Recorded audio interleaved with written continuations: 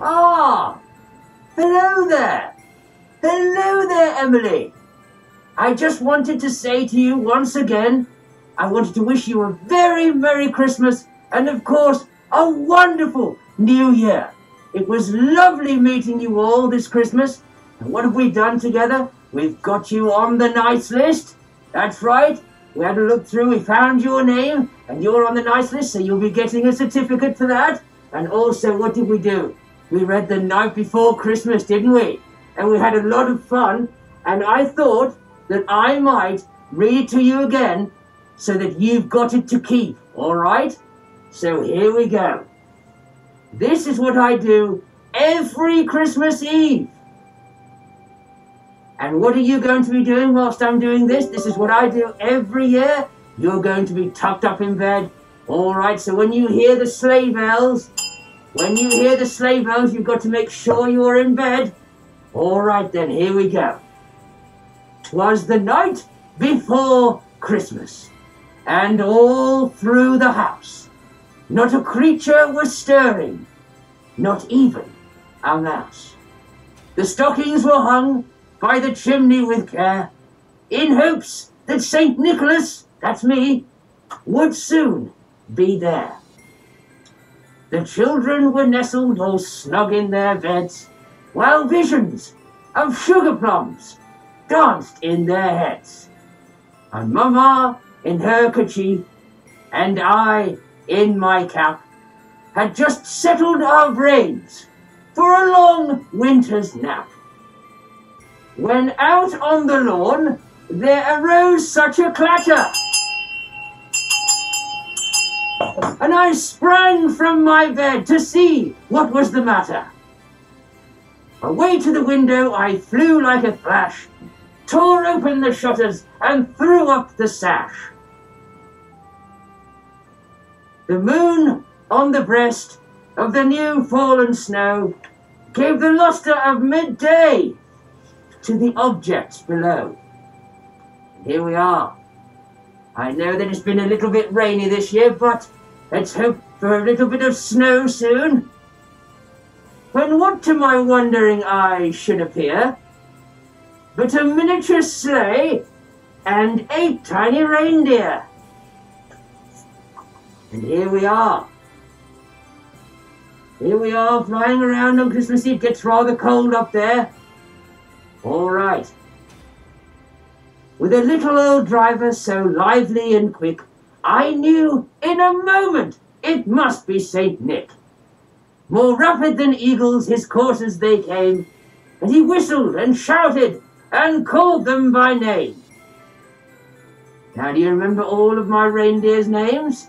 Now Dasher, Dancer, Prancer and Vixen, Comet, Cupid, Donner, Blitzen, and of course Rudolph too. To the top of the porch, to the top of the wall, now dash away, dash away, dash away all. As dry leaves that before wild hurricanes fly, they meet with an obstacle and mount to the sky. So up to the housetop his coursers they flew, with a sleigh full of toys, and St. Nicholas too. And then in a twinkling I heard on the roof the prancing and pawing of each tiny hoof. Now, do you remember the drum roll we did when we were looking in the naughty nice list? Do you remember the drum roll we did? That's what it's going to sound like on the roof. As I drew in my head and was turning around, down the chimney St. Nicholas came with a bound. He was dressed all in fur from his head to his foot, and his clothes were all tarnished by ashes and soot, because people don't clean out their chimneys sometimes. With a bundle of toys was flung on his back, and he looked like a peddler just opening his pack. His eyes, how they twinkled, his dimples, how merry, his cheeks like roses, his nose like a cherry, his dull little mouth drawn up in a bow, and the beard on his chin was as white as the snow. The stump of a pipe, held tight in his teeth, and the smoke encircled his head like a wreath. Don't worry, Mum and Dad, don't worry. I don't bring the pipe into the house anymore.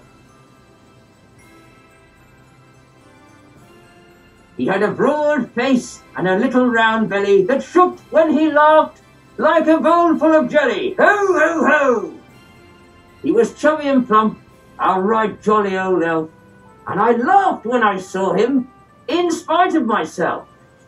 But with a wink of his eye and a twist of his head, soon gave me to know I had nothing to dread. Spoke not a word, went straight about his work, and filled all the stockings, then turned with a jerk, laying a finger on the side of his nose and giving a nod, up the chimney he rose. Sprang to his sleigh, and to his team he gave a whistle, and away they all flew, like the down of a thistle. But I heard him exclaim, as he drove out of sight, A Merry Christmas to all, and to all a good night. I wish you all a very Merry Christmas and a Happy New Year, and I will see you very soon. But, I but remember, you won't see me because you'll all be tucked up in bed. All right, I'll see you soon. Goodbye. Merry Christmas.